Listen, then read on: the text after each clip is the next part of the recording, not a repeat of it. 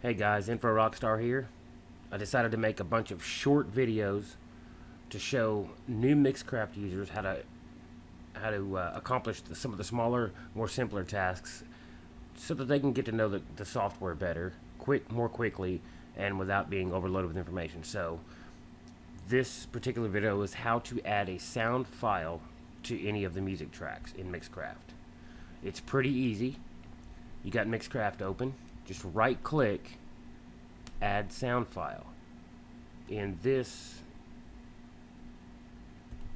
demonstration you just simply find the sound file on your computer you want by right clicking add sound browse your computer from wherever it is um, and of course it will allow you to import wave files mp3 files. I believe midi files are allowed.